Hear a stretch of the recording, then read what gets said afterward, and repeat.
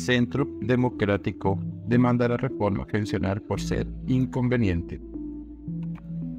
A la iniciativa se sumó el Partido Cambio Radical argumentando que se desconoció el principio de bicameralismo.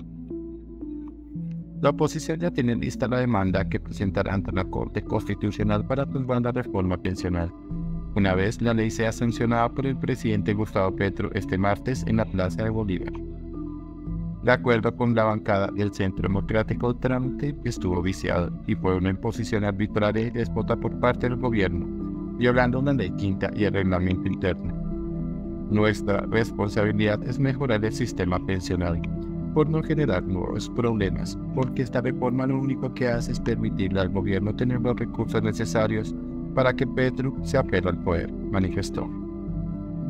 El documento ya se encuentra firmado por el Partido Centro Democrático, Cabe señalar que la senadora Paloma Valencia presentará su propia demanda en donde argumenta que no hubo deliberación ni explicación de los ponentes sobre las diferencias existentes con la ponencia del segundo debate.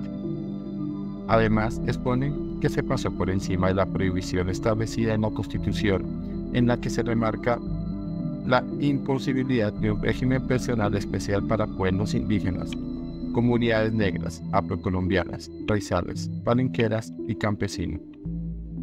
A la iniciativa se sumó el partido Cambio Radical argumentando que la reforma pensional no corrige los problemas de acceso y cobertura, no soluciona la informalidad laboral y no tiene en cuenta la inversión de la pirámide demográfica.